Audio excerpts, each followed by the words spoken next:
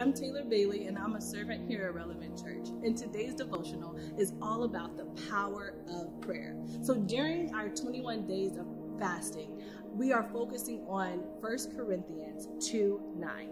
It says, But as it is written, what no eye has seen, nor ear heard, nor the heart of man imagined, what God has prepared for those who love him. So, prayer is something that some of us do fairly often, whether it's in the morning, in the middle of the day, all day, in the evening, whatever. We're talking to God.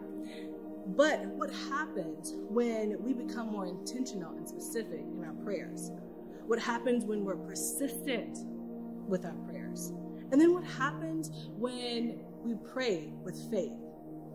The power of the Holy Spirit shows up. And we are no longer afraid. We're no longer afraid to conquer our fears in the world because we are confident in Him. We put our trust in Him and we kick fear in the rear. So in Acts 4 31, it says, And when they had prayed, the place in which they were gathered together was shaken, and they were all filled with the Holy Spirit, and continued to speak the word of God with boldness. So during this time, Peter and John, they were called to approach religious leaders um, because they were um, proclaiming the name of Jesus.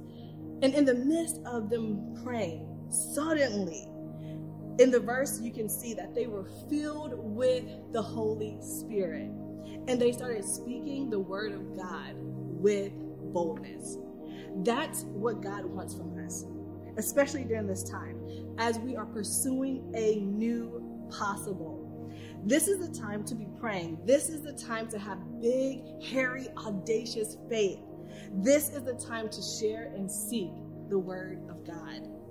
A new possible is here, you guys, and it's time to meet God's divine favor with human faith. During this time of praying and fasting, pray with faith. Allow God to God to fill you up with the Holy Spirit to empower you. That's what it's all about. Be persistent with your prayers. Pray specifically for what you want to see God do during this new possible. Let's pray. God, thank you so much for this season of new possibilities, God. We are just thanking you so also very much. God, continue to just be on our hearts. Continue to have us, um, let us have this desire to go out and share and speak your words to others so that they can also be on fire for you, God.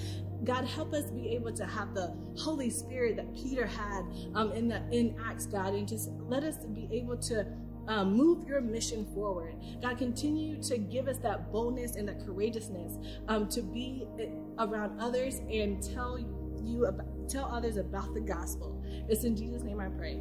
Amen.